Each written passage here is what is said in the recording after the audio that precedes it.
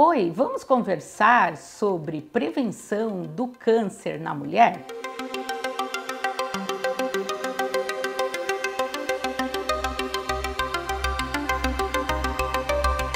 Olá, eu sou Adriana Campaner, sou médica ginecologista. Hoje eu estou aqui a convite da Casa Tegra para nós conversarmos sobre prevenção do câncer na mulher. O câncer de mama, ele ocupa o primeiro lugar. Por isso que todo mundo fala do outubro rosa, dessa prevenção do câncer de mama.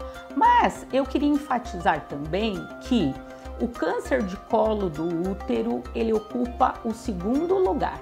E o câncer de intestino, o terceiro lugar. O ginecologista, ele é um médico da mulher. Esse médico tem que estar atento a faixas etárias de suas pacientes e quais os exames ele deve solicitar.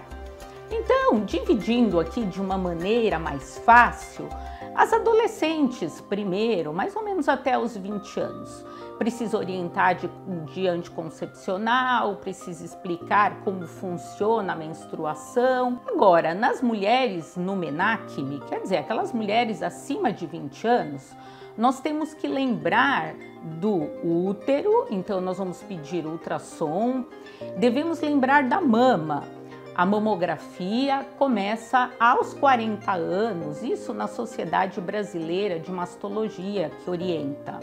Ela deve ser realizada anualmente após os 40 anos e a paciente deve palpar a mama sempre que possível.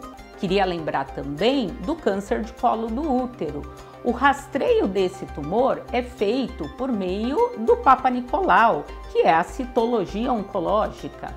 Esse exame deve ser colhido acima de 25 anos, segundo o Ministério da Saúde, mas a mulher, depois de início da atividade sexual, deve ser examinada todo ano. Esses são os exames no MENACME.